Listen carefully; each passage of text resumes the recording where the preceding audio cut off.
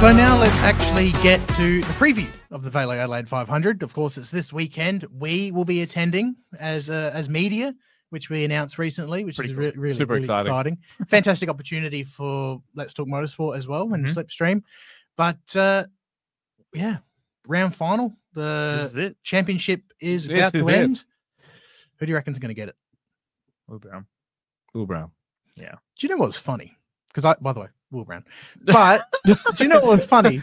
You, you said you were you were like you actually changed your answer to Chaz Mostert halfway. Did I? Yeah, and I was the one who who stayed with Will. Yeah. I'm not surprised. I, I like Chaz. And if Chaz didn't have the terrible Sandown, I think it was. Oh, that wasn't that bad. The Holsworth spin. Yeah. yeah, the whole spin didn't help. Probably would still be in the contest. And oh, and Oh, the Gold Coast- Gold Coast ruined him. That destroyed him with the the I don't the, even know what the it was. Gold Coast. I reckon he'd get second back ahead Yes. of Feeney. he would yeah. have still been still still been in it if he had a good result. Yeah, hundred Um, percent. I think they should be super proud. I mean, this is a team that has switched manufacturers And we'll be doing it again. and we'll be doing it again. I mean, one more year, and One then more yeah. year. But it's going to be actually really interesting to see how that team performs next year because they do have to put resources into the new Mhm. car that they're building. So how much Yeah. time do you spend? that's but also, but also, how much time and resources do Ford put into it, knowing that they're going to be with a different manufacturer? Good point. Do you give them It's a bit awkward. do you give them the good bits or like extra data? I don't know. I don't think they're going to do that well next year just purely for that. You know, the resources to build a new car. Ford doesn't want you to know the latest things that they're doing to make their cars quicker. It's going to be really, really Aren't fascinating. there are also rumors that DJR could be getting sorry, Tickford could get in the Ford what's it called? the factory, the factory factory, uh, I guess, replace DJR Well, as the what about the fact that the team might be team? the team might be for sale? What about that? Like, Yeah, that's interesting. I don't know to what Swear they're always extent. up for sale um, well, yeah, I mean, it's motorsport. But Tickford, though, I reckon they'll be the ones to beat this weekend anyway. Mm. Um, they're always strong here. Cam Waters won last year with the Ken Block livery, That, that which was cool. which is really cool. Uh, he was really strong at Gold Coast, so Thomas I expect Randall the was same. quick. He could He do was my very well. surprise yeah. of the weekend. I think Will just needs to, yeah, just stay out of trouble. Um, watch out for one, turn one, turn two. Will just turn needs three. to do. Will just needs to not do what he did last year at Adelaide, which was Yes. crash turn uh, turn four. Shit, Yes. that was the most underwhelming championship end. Yeah, When he ended crashed in on that one I was Hizzy. happy, but anyway. Uh, Yeah, Um, Def- I mean, I, I did go for I did go for Brodie, yeah, yeah, yeah. um, and Erebus at the time. That's changed now. Well, that actually helped out Brodie because he had a shock. I was actually, I was actually inside the actual Red Bull team Oh yeah, you were. at the time when it happened, and like literally, it was just a silence. mayhem. That would've been after. Oh, After, yeah, yeah, no, no, like yeah, after it happened, you know, like it was just like complete silence. Like they knew that now Yeah, we've we've it. lost her. Yeah. But look, the um, everything about the Adelaide 500 is looking really, really exciting.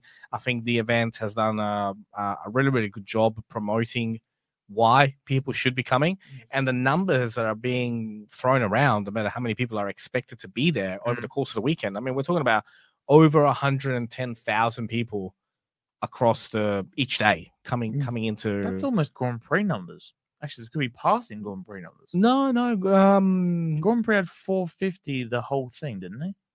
Yeah, but Thursday, no, no, Thursday, Friday for Adelaide, it's not going to be like Oh, you know. Yeah. not not not The those weekend. levels. The weekend, sure, sure, sure. but I mean, the Ad, I think the Adelaide Grand Prix in the nineties still holds the record for the most amount of people at a at a Formula One racing Mhm. event ever. I think we're talking about 150 to 160,000 people were there just, Just on race day. Just on race day. Yeah. like that's You that's see the footage. They're on like climbing the fence. Mm. The whole Dequetteville Terrace thing was was a grandstand the whole way Yes, back then. Well, we spoke Pretty to cool. Greg Rust We did. um, last week, which is, by the way, is on our YouTube and Spotify.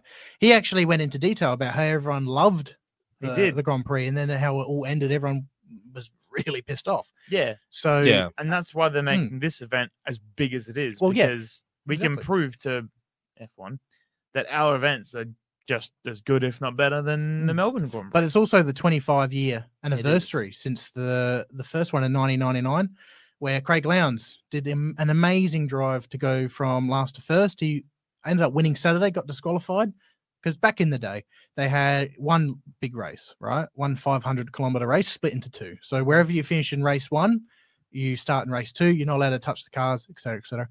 And Craig, because he was disqualified, start from the back, and he climbed his way up to the front and dominated.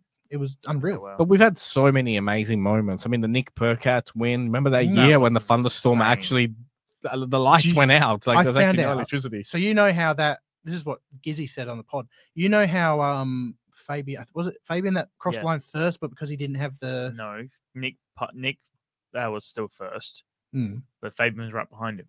Oh well anyway the, the fuel issue right that's yeah, what I'm trying the to say. fuel issue, yes. Apparently the reason that Percat was in the position he was was because they actually ran out of fuel on lap five.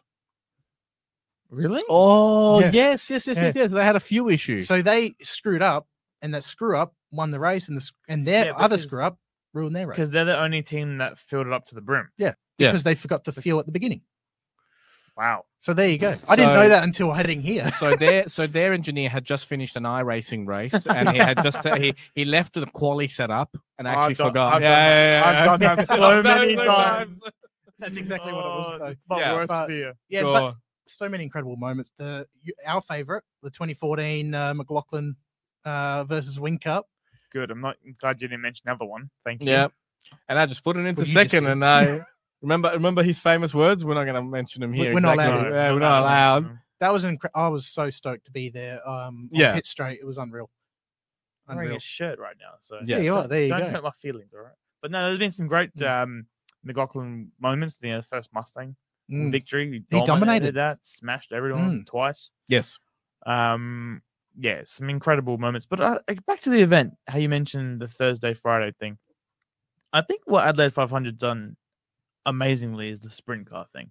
Mm. Concerts are cool, Yes. but they're more of a weekend vibe. Yeah, Yeah.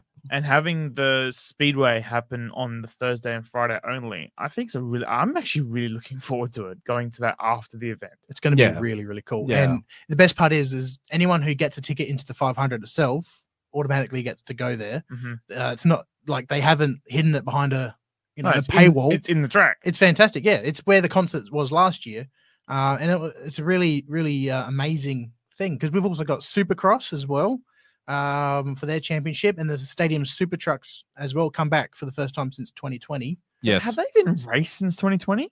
I don't yeah, they race in 'Cause the. I can't find. Any I don't know, but one of my friends, he's actually put his business on one of them. So you you actually see Codefish Studios wow. on one of them as they're flying through the air. I think I it's love that. brilliant. That is fantastic. I mean, it's brilliant marketing. Um, and so clever. Like, you know, they're an app development business, but yet, you know, they're going to be on a race car Yeah. as it flies through the air. Oh, it's so good. Plus- It's so good. Everyone watches the Super Trucks. Everyone. Yeah. Oh, yeah. And if you're trackside, go to a bit where there's a jump. You won't regret it. They Oh, they fly higher than it looks on TV. Mm. I don't know how we are going to fit everything into the storage that we were not. Like, We're we just not. need to publish as quick as we can. And Yeah. You have phone storage issues quite often, don't you? I will be afterwards. Yeah. We will definitely. we definitely will. No, Wow. it's it's super exciting, and I mean, for us being behind the scenes and actually having the media, will be right in the paddock. Mm. We'll be backstage behind the supercars, uh, um, garages, and just interviewing all types of people that are, that are there throughout the event. Um, we have a full grid of super utes.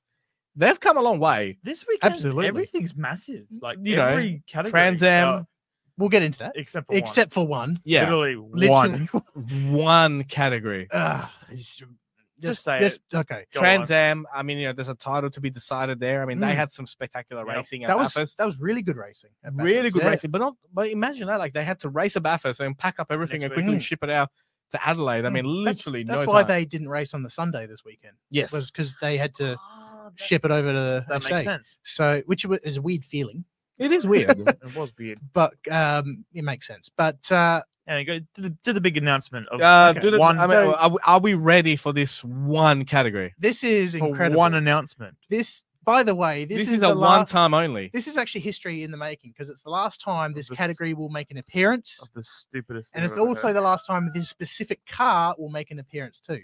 This is so silly. Ladies and gentlemen, behold, Super 3 has a whopping one car field in Trophy up for grabs. and it's actually a Ford Falcon blueprint uh, model, which is actually the last time the car will be allowed to race in the Super 2 category. Now, that part's cool. Um, so that was already happening, and then suddenly, because the reason behind this is because the Nissans, uh, which make the rest of the field, the whopping three field, um, Cody Burcher, who won the Super Three title, uh, Matt White Motorsports decided to, you know, to hold off because of the crashes they had at Bathurst. Mhm. Um, which, by the way, can't believe their race, last race. I wish they raced at Gold Coast. Um, but uh, just a side note. It would have been a safety car. But they race. have been, they've decided to just sit out because they've Yes. already won the title. What's the point? What's the point? Yeah, but Sorry, what title? um, yeah, exactly. Yeah, but that's right. next year, well, I wonder if he gets a trophy. I wonder if that actually. Would. Of course he does. Do you reckon it's still going to be Super Three, or you reckon he's just going to slap on the Super Two? Because next year, Super Three will be any of those cars, except for the blueprint cars. So the the new ones, the car of the future model, will Mm. be eligible for Super Two. So um, back how it used to be. I think cool. look, I think it's fascinating. I I'm not sure why they even accepted the category with four cars. I mean, you can't call it a category if you've got four cars on the grid. I mean, Or back one. back when Super Ute started, they were a brand new, brand new category, and they had I think like eight or Yeah, ten. Something like that. Eh, I mean, has to be double digits. Like it Yeah. just has to be, you know, to be uh, to be a proper category. And and for you know, there was a lot of talk actually happening on social media on Facebook about this that the cost to run a Super Three car compared to running in Trans Am or TA two, it just doesn't make sense. Like the No, numbers are just literally literally you're throwing money away correct. Yeah. for no reason. and and like you know as a driver this is what again i go back to sims uh, sim, sim racing and esports and all that you want to race against the best Yeah. there's no point in winning if you're not racing against the best and we saw another category we won't mention names we saw another category over the weekend and they had their funnel round and we saw the lap times and their lap times were like two seconds slower than another category with the exact same type of cars and even if you win what have you won because you're not racing against the best. So these Yeah. four cars mm. that are racing in Super Three, come on, like Well, funny enough, like yes, they're only, they're racing four other cars in the category, but they're on the track. It wasn't as bad as being by yourself. Yeah, They're on the track as Super Two. So a lot of them, I think Cody Burcher was finishing overall like fifteenth, 14th. yeah, he was doing. Re- he was actually in the like mix. he was actually Yeah. beating Yeah, yeah. Super Two cars, and not only just beating them, but kind of Speaking of by speaking of. Super Yeah. Two, we've got a whopping, we've got an exciting end of the championship too. We got a three way fight. Uh, after Yeah, Kai Allen's deal. horrible Yep. Bathurst, he's now um, 42 points behind in third position, uh, behind Aaron Cameron, Yep. who's behind Zach Bates, who, by the way, will be racing for Triple Eight next year in their wildcard program. so let's talk about it. Who's gonna win? I reckon Kai. Kai's really strong. he's good. at Um, He's, he's- very good. at Yeah, Adelaide. he he you know he did really well last year. Do you guys course, re- remember what happened in Super Three? I do. I do remember that. Oh, I, it- think I, I think Kai will win. it. when it actually I, used to I be have competitive. yeah. I think he'll make history. He'll be the first double, Double. Super Two champion, I have faith. He's done well all year. and he was Um, dominating that race. By the way, when when that crash did happen, Yeah, he yeah, yeah. was he was dominating. But I think also wild cards as far as for the win of the Super Two race could be Bradley Vaughan. I mean, I think Bradley has been in really really hot form lately. Um, he's really getting on top of the qualifying session, so I think I think he'll do really really well.